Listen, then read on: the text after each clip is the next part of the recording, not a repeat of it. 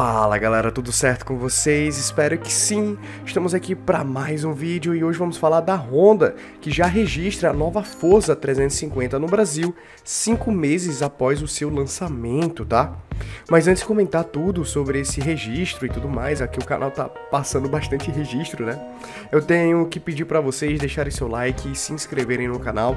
Realmente é muito importante aqui pra gente. Estamos aí com a meta de chegar a 25 mil inscritos e conto muito com a ajuda de vocês, beleza? Estou pegando a notícia da Motoru.com, o link está na descrição do vídeo. Vamos embora!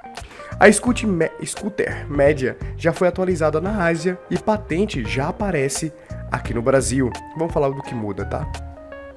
Após muita expectativa, a Honda Forza 350 foi apresentado para o mercado brasileiro em agosto do ano passado.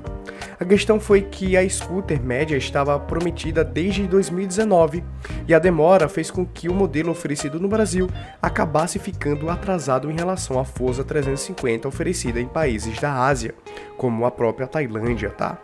Por lá, a Max Scooter da Honda recebeu pequenas atualizações já em outubro de 2022, quer dizer, logo depois que foi lançada aqui no Brasil, né? Por outro lado, a Honda do Brasil pode não estar planejando ficar para trás por muito tempo.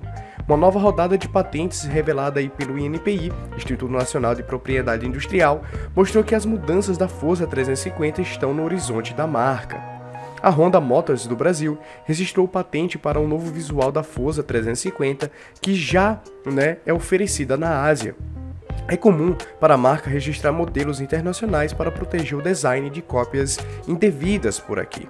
Porém, o patente, patente aí da Forza 350 é bem detalhada, tá? E com peças individuais e quando, galera, trazem assim, realmente botando peças e tudo mais, é porque tem de fato interesse, tá, em lançar por aqui. Isso pode indicar né, a intenção da montadora em apresentar a novidade por aqui também. Vale lembrar que pode ser importada a Honda Forza 350 vendida aqui, a, que tem aí um ano modelo 2022. E o que muda nessa nova Forza 350 para o 2023, tá? A moto passou né, por uma leve, um leve redesenho. As alterações aí mais visíveis foram no farol, algum totalmente agora totalmente dividido, né, o que também causou alteração das peças ao redor da carenagem frontal. A Honda Forza 350 tem faróis e lanternas com lâmpadas de LED que foram significativamente atualizados e deram uma aparência aí mais angular à moto. O novo conjunto de instrumentos com sistema de controle da voz, de voz aí da Honda, né, promete também interações aí com o smartphone via Bluetooth por meio de comando de voz. Em termos de desempenho, a nova Forza 350 permanece com propulsor 330 cm3 da Honda refrigerado a líquido, que é um monocilíndrico e dotado de injeção eletrônica.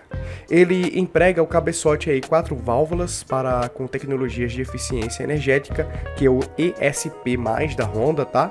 E a atual potência de 29 cavalos e 3 kg de torque permanece, assim também como câmbio automático do tipo CVT. Completando o motor, há um conjunto de ajudas eletrônicas para quem conduz, né, como a Honda Select Table, né, Torque Control System, que é o HSTC, tá? O controle de tração da marca, bem como também ABS nas duas rodas. A scooter também tem um aviso de frenagem de emergência que aciona o pisca-alerta durante a frenagem brusca, né? Aquelas frenagens realmente mais fortes. Apertando um botão do guidão, o condutor pode operar né, em variações aí, várias funções, sem interferir na direção. O aplicativo para smartphone, que é o Honda Road Sync, incorpora aí tecnologias de comando de voz e foi projetado para integrar totalmente com a grande, grande conjunto né, de instrumentos da scooter. Outros equipamentos incluem para-brisa com ajuste elétrico, que pode ser é, regulado em altura até 150 mm, tá?